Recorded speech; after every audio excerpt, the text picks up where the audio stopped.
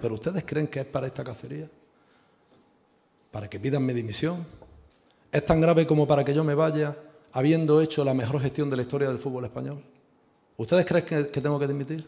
Pues les voy a decir algo. No voy a dimitir. No voy a dimitir. No voy a dimitir.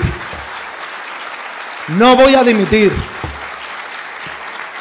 No voy a dimitir. I think he's done a lot of damage, uh, to be completely honest with you, because look at the scale of this. It's been three days now since Spain won the World Cup. The whole world is talking about this and talking about a boss kissing an employee in front of the entire world without her consent.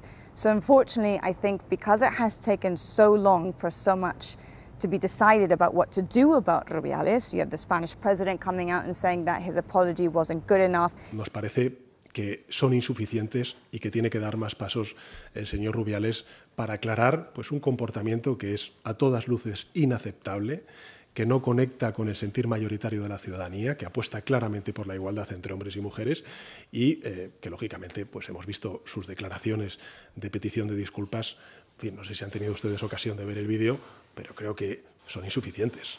My personal opinion about all of this is that it was an act of sexual aggression. The reason I say that is that if you look at Spanish law, it's clear to be seen in black and white. It states, according to this new law that was put into place last year, that's called only yes or yes, there has to be consent in these kinds of situations. And if there isn't consent, therefore it is considered an act of sexual aggression.